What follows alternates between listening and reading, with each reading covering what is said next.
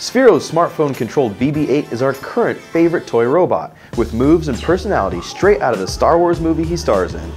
Now, with an update to its Android and iPhone control app, this droid is even more fun and charming.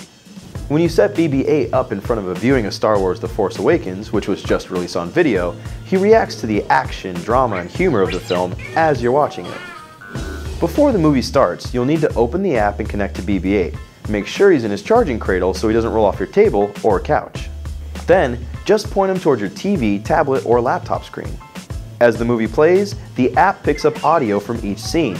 Different scenes trigger different responses from BB-8. When the film's villain, Kylo Ren, comes on screen, BB-8 shies away in fear. And when Han Solo and Chewbacca first appear, BB-8 goes wild with excitement. He's also a bit of a diva, beeping and booping it up when he sees himself on screen.